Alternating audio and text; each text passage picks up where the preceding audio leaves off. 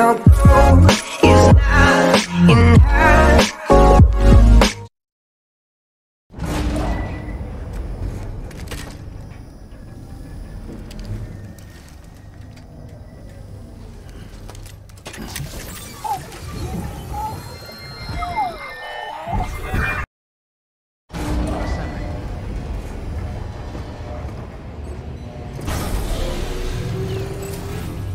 Beginning scan. Scanning bridges ID. Verifying ID. Hey Sam, those new sites you've brought into the net? Unfortunately, I still haven't managed to dig up anything about them. And I'm completely locked out of BB-28's service record. If I could at least access that, I might be able to tell you why you've been experiencing those strange episodes. Well, I'll keep at it. You do the same. Sam, check the terminal for available orders. Order bridges.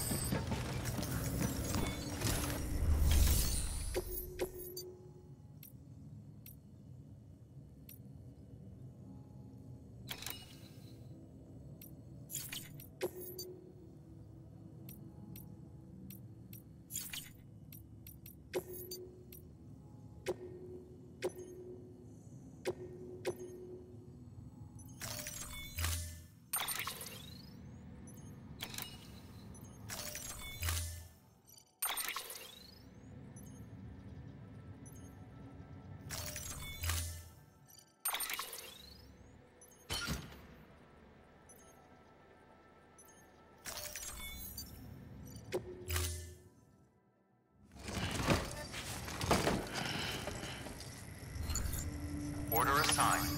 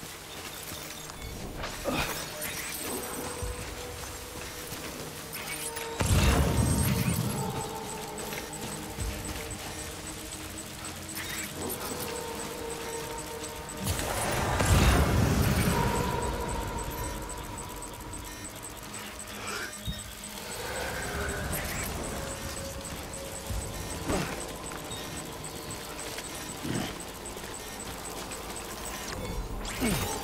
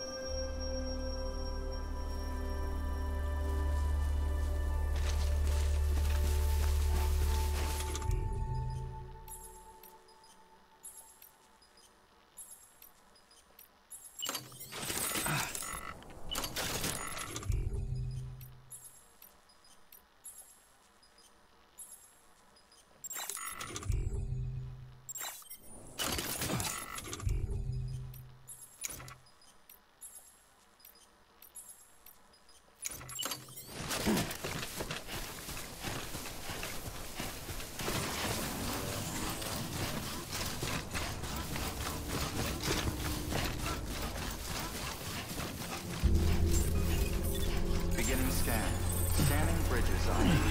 Verifying ID. Clear. Weapons detected. All...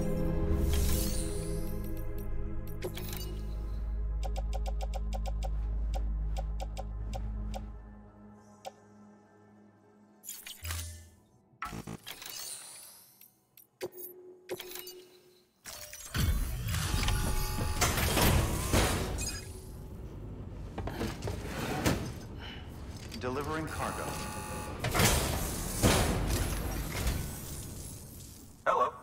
Sam Bridges, right? We've been expecting... The gauge you brought is going to... Let... Oh, sh... Well, at least that's the part...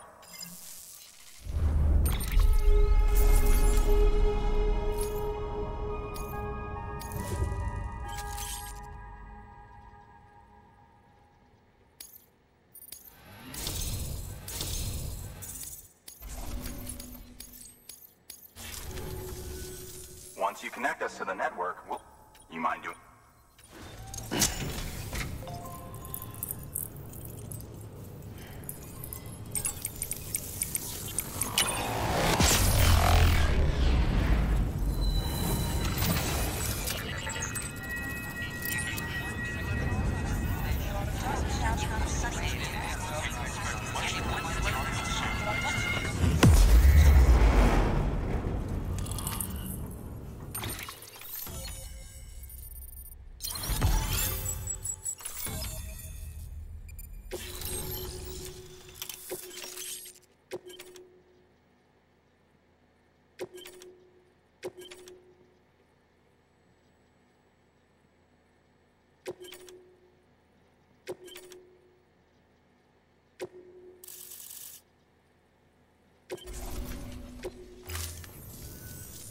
Sure they told you, but this weather station... Unfortunately, we lost contact with our weather satellites a while back. Interference from chiral clouds. So it's been tough to measure chiralium levels and predict timefall. But thanks to you, this weather station can finally function as intended. You made our jobs easier. Now let us do the same for you. We won't let you down, I promise. Take care. I see you got the weather station back online. Excellent work, Sam. When a region is integrated into the chiral network, it's also brought closer to the beach, in a manner of speaking. There's a significant impact on chiralium levels, and measuring that impact is one of the Cupid. The more we know, the more accurately we can determine where to expect. Without the chiral network, we... Oh, and thanks to your latest accomplishment, you can now review the weather forecast via your cufflinks. Check your map. You'll see. I'll keep an eye on the chiral density. It's not too far from South Knot City. Keep... Good luck, Sam. Good work, Sam. That's one. Keep it up and we'll be... The weather station's forecast should be visible to everyone on the car. You can access them via your cufflinks. Could be useful when plotting your routes. Thank you for your contribution.